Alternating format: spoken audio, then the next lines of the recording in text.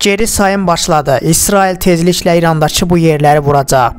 Günlərdir İsraili yer üzündən silməyə and içən İran rejimi bu ölkəyə tarixində ilk dəfə öz ərazisindən zərbələr endirməyə başladı.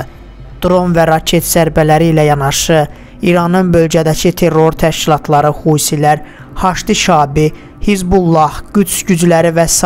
də paralel formada İsrailə raketlərlə hücumlar etdi. Bunu beynəlxalq münasibətlər üzrə ekspert Əziz Əlibəyli İran-İsrail gərginliyi barədə qlobal infoza danışarkən deyib. O bildirib ki, heç bir strateji rəqabəti olmayan iki dövlətin axşamçı savaşı şou idi. Bütün zərbə raketlərinin əksəriyyəti İsrailə çatmamış, İordaniya və İraqda zərərsizləşdirildi. İsrailə düşənlərdən isə cəmi 1%-i bir uşağın yaralanmasına səbəb olub.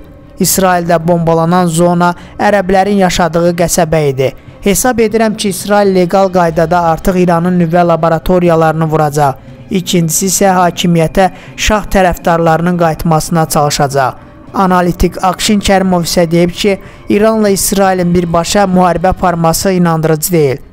Hazırda baş verənlər kölgə müharibənin şiddətli halıdır. Bu arada İranın regionda güclənməsi ilə ABŞ-ın ona yaratdığı şərait fonunda baş tutdu. Çoxu elə bildi ki, ABŞ-ın Əfqanistana ardınca İraqa müdaxiləsi İranı da Vaşinqtonun hədəfinə gətirəcək. Amma olmadı, çünki ABŞ ilə İran Əfqanistan ardınca İraq məsələlərində sövdələşməyə girmişdilər. Sonradan sövdələşmə ipləri qırıldı. İran fürsətdən istifadə edib proksi qüvvələr formalaşdırdı və nüvə proqramını genişləndirdi. İsrail ilə ABŞ-ın ulduzlarının barışmadığı nöqtələr İranın artan ambisiyaları ilə əlaqəli formada üzə çıxdı. Siyasi şərhçi Asif Nərimanlı hesab edir ki, Tehranın qisas görüntüsü yaratmaq məqsədi ilə raket zərbələri haqda öncədən Vaşinqtonu məlumatlandırmışdı. İran qisas məqsədi ilə İsrailə dron sürüsü göndərir, amma hədəfdə olan ölkə də daxil olmaqla hər kəs kargo sifarişini gözləyən kimi PUA-ların yolunu gözləyir.